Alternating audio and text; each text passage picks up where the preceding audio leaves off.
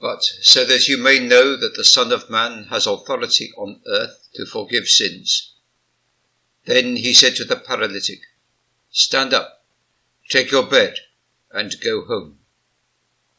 The Gospel according to St. Matthew chapter 9, verse 6. See here one of the great physician's mightiest acts.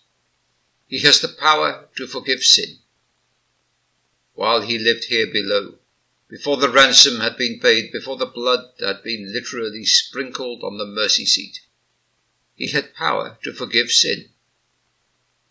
Has he not power to do it now that he is dead? What power must dwell in him who to the utmost farthing has faithfully discharged the debt of his people? He has boundless power now that he has finished transgression and made an end of sin. If you doubt it, see him as he rises from the dead. Behold him in ascending splendour raised to the right hand of God.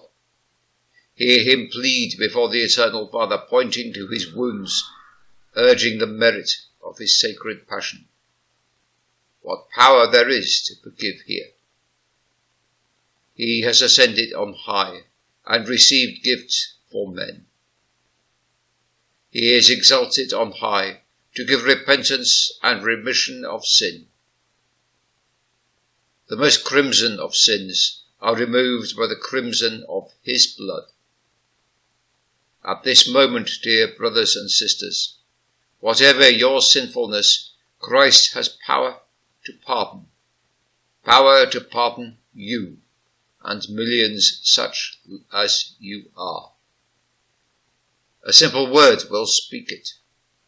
He has nothing more to do to win your pardon.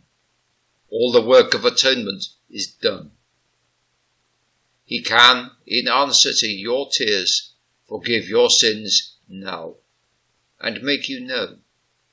He can breathe into your soul at this very moment a peace with God which passes all understanding, which shall spring from the perfect remission of your many iniquities.